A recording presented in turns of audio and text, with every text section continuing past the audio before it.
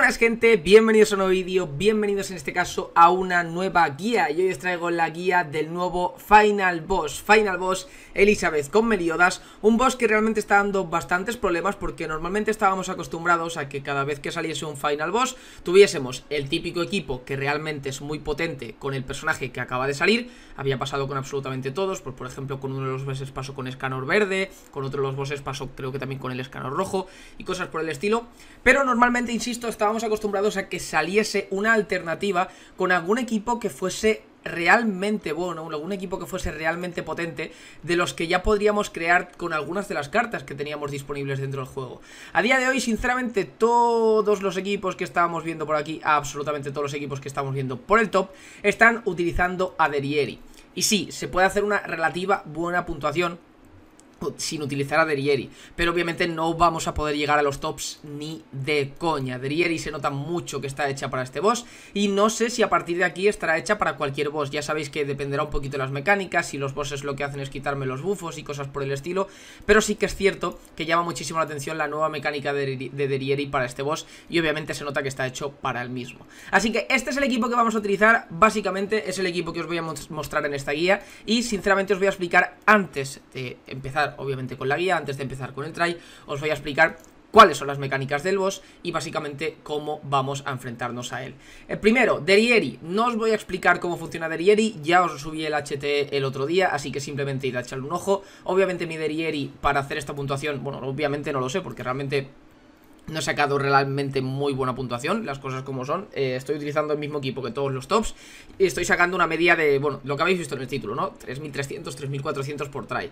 Lo único que puedo hacer ya para mejorar la puntuación es tener la run la run en la que todo salga bien, que te robes todas las cartas como a ti te interese y que lo hagas lo más rápido posible. Ahora lo único que me interesaría o que me mejoraría la puntuación sería eso, hacerlo más rápido. Así que, insisto, mi Derieri con este equipo que le he hecho el engraving tanto las piezas de ataque como las piezas de defensa, obviamente sobre todo las de ataque son las más importantes, e insisto, si queréis saber cómo funciona Derieri y de echarle un ojo. Bowser para acelerar los robos tanto de rank ups y demás, para poner los buffos de nivel 3, poner los congelares de nivel 3. Luego tendríamos Merlin, que además de estar en, presente en una de las misiones que veremos un poquito más adelante aquí por aquí. Y si es que os fijáis, hay una misión que pone usa la habilidad con la gran hechicera Merlin coleccionista. Cada habilidad que utilicemos con Merlin nos da 5 puntos. Sinceramente, no sé por qué han hecho esto.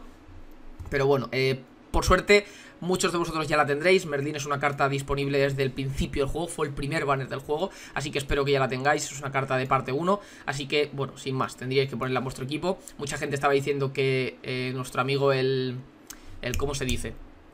El Gustavo sería una carta mejor porque baja las resistencias críticas de los enemigos. Con suerte tirábamos un crítico con Jericho. Ay, con Jericho, perdón, con, con Derieri. Derieri no es uno de los personajes que más crítico tengan de base, con lo cual es bastante improbable. Pero ya os digo que, que bueno, que simplemente esta Merlin al menos para este boss, es 100% mejor, entre otras cosas porque nos da puntos.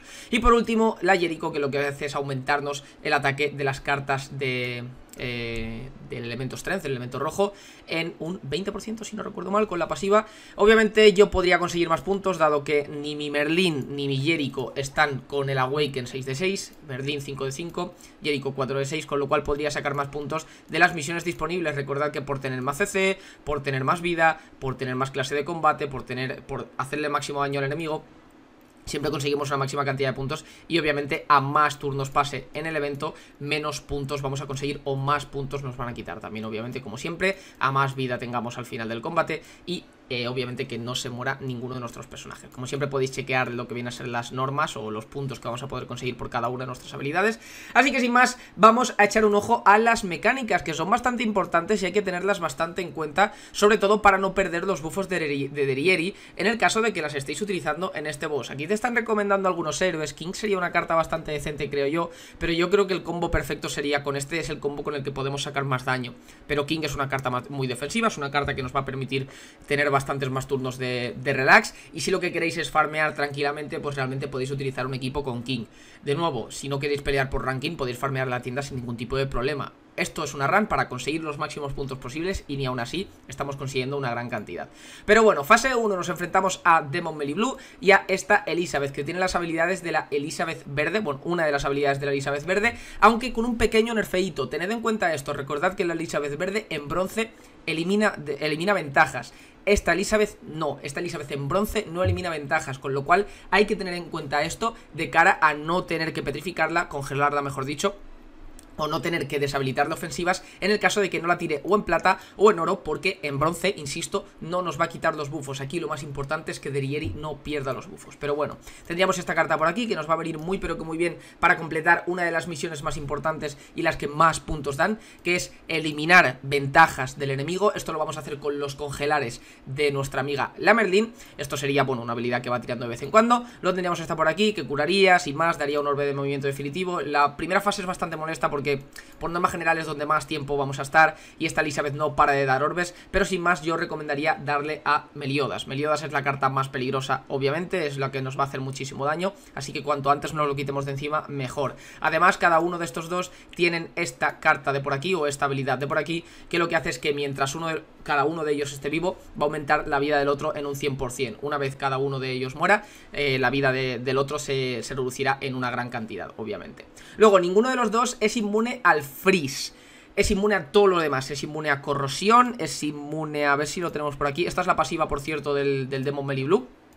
Es inmune a corrosión, aturdimiento y petrificación, pero ninguno de los dos es inmune a lo que viene a ser la, eh, la freeze. La freeze la podemos tirar sin ningún tipo de problema. Sin embargo, Meliodas al final del turno la perderá, mientras que Elizabeth no. Elizabeth la podemos congelar y mantendrá la eh, congelación hasta el siguiente turno. Sin más, la primera fase es acabar con ellos lo antes posible. También tened en cuenta que para este boss, por mucho que ellos sean azules, estamos llevando un equipo mono rojo porque tenemos una habilidad también por aquí que lo que hace es eliminar, eliminar los aprovechamientos de los atributos, tanto para bien como para mal, ¿vale? Tanto el daño de ventaja como el daño de desventaja no importa. Es decir, al ser azules, por mucho que les pegásemos con el rojo, no vamos a perder ese daño extra que ganaríamos o que perderíamos si estuviésemos en desventaja normalmente. Y por último, ¿qué tenemos por aquí? Que sería la fase 2. Se ha parado la música de una forma bastante extraña, cosa que no entiendo. Ah, por ahí vuelve. Tendríamos por aquí la fase 2, que obviamente cambia un poquito. Eh, Elizabeth pasa de ser bastante defensiva a bastante ofensiva. Va a estar molestándonos poniendo llamas y corrosión todo el maldito rato. Aparte de que estas cartas también pegan bastante. Eh, desactiva las habilidades de desventaja, que esto también es bastante molesto. Porque nos puede retrasar algún que otro turno en el caso de que no podamos tirar el congelar de 3 de Merlín. Y luego, pues lo típico. También tenemos por aquí llamas, corrosión. Y lo que hacen ambos dos. no, perdón. Eh, sí, ambos dos con sus ultimates, creo que era. Bueno, no, esta con una habilidad de eh, de las importantes, por así decir, inflige ruina, que elimina los efectos de desventaja del enemigo y aplicando un 20% más de daño por cada uno de ellos y el Demon Azul, que es exactamente la misma habilidad que tiene por norma general, que también tendría efecto de ruina, un 30% extra por cada una de las desventajas activas sobre el objetivo. Así que nada gente, hasta aquí las mecánicas del boss, vamos a empezar, también mencionar que aumenta un 6% la defensa crítica de los aliados al finalizar el turno, limitado a 5 veces, esto también es bastante molesto y conforme más vayamos eh, estando en cada una de las fases, más se va a notar, pero obviamente es lo que hay, así que sin más gente, vamos a empezar, voy a darle al OK y vamos para allá, así que vamos al lío. Y bueno, disculpadme por esta pequeña interrupción, gente, realmente para vosotros no ha sido absolutamente nada, pero bueno, he tenido que parar la grabación. Así que sin más, vamos con el try. Insisto en que la única forma ya de mejorar la puntuación que he hecho, realmente, porque yo creo que, además de que el equipo es el óptimo, ya os lo he mencionado anteriormente, por desgracia yo creo que para este final boss no va a haber otra opción que sea para sacar los máximos puntos posibles, al menos de momento, quién sabe si alguien nos sorprenderá. Pero yo creo que no, sinceramente. Eh, lo único que me queda ya es o subirle la ulti a Derieri, que es una de las opciones. Tendríamos que seguir tirando diamantes al banner de Derieri, cosa que realmente no creo que merezca la pena. Sobre todo teniendo en cuenta lo que se viene dentro de un par de semanitas. O, ya obviamente, eh, maximizar el, bueno, minimizar realmente los turnos que estemos haciendo en este boss. Así que sin más voy a explicaros cuál es la estrategia que sigo yo. Lo primero y lo más importante para mí, al menos es acabar con Meliodas. Os he explicado antes qué es lo que hacía esa Elizabeth, que es que lo que hace es quitarnos los bufos con su carta en plata. Si la está tirando en bronce no nos tenemos que preocupar.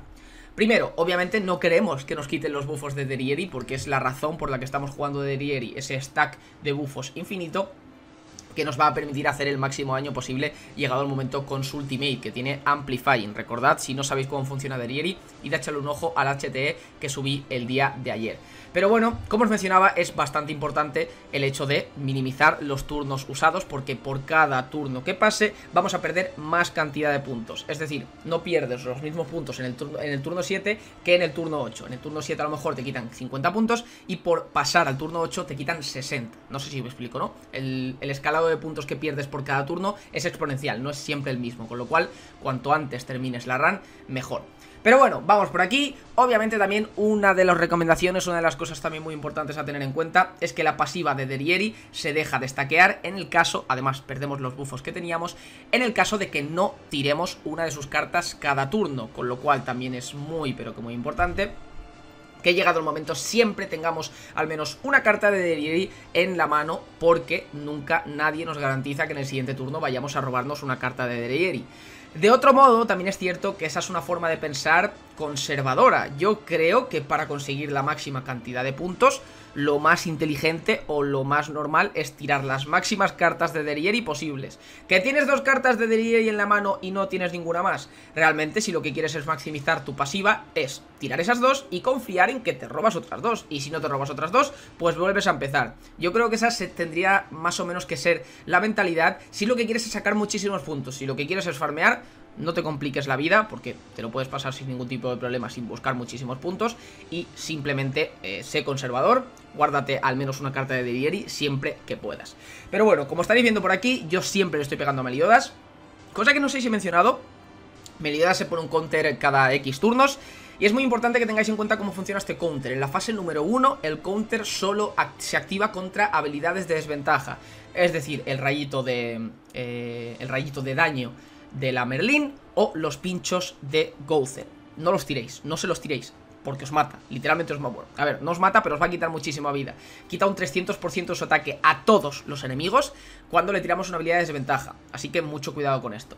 Luego, por otro lado, por aquí, como os había mencionado, esta Elizabeth lo que hace de vez en cuando es ponerse ese bufito que estáis viendo por ahí, y lo que tenéis que hacer para cumplir una de las misiones, que es una de las que más puntos da, que te da 270 puntos por completarla, es quitárselo, así que tiraremos siempre un par de congelares en esta primera fase para quitar esos bufos y así conseguir esos 270 puntos extra. Aquí, bueno, aquí tengo la Ultimate, recordad que la Ultimate, por si esto no os lo había mencionado, la Ultimate también cuenta como una de sus habilidades, es decir, por mucho que no tiremos una habilidad estándar, una habilidad de las normales, insisto, eh, conseguiremos, eh, ¿cómo decirlo? Si tiramos la ultimate, seguir manteniendo su pasiva. Aquí he tenido mala suerte, aquí he tenido un turno más de los que debería porque confiaba realmente en con esas dos habilidades ser capaz de pasar de fase y con lo cual hemos sumado un turno, con lo cual hemos perdido más puntos al final de la run.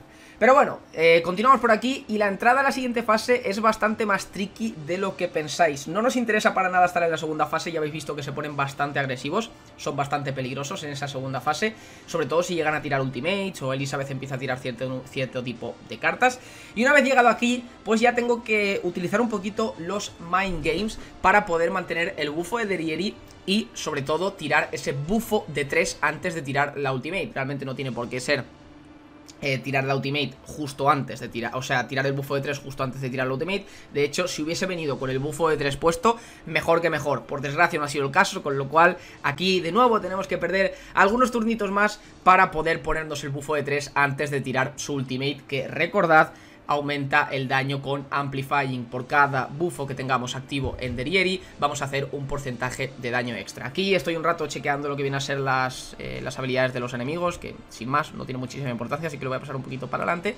Y aquí lo que hacemos es lo siguiente. De nuevo aquí tengo que me veo obligado a perder un turno, porque lo que vamos a hacer va a ser meterle el congelar de 3 a la Elizabeth para que así dure un total de dos turnos. Tiraremos un rank up y tiraremos uno de los golpes de Derieri al Meliodas para así tener a Elizabeth congelada esos dos turnos y en el siguiente turno con el otro rank up, que también he tenido suerte de que tengo un rank up, las cosas como son con el otro rank up, ponernos el bufo de 3 de Derieri y así ya poder tirar la ultimate. Así que vamos al lío, vamos para allá. Habría tenido la opción antes de meterle... No, no, porque en este siguiente turno también tengo, eh, tengo el turno 100% hipotecado, son las tres cartas que tengo de tirar, que es el rank up, el bufo de 3 y la ultimate de Derieri a Elizabeth.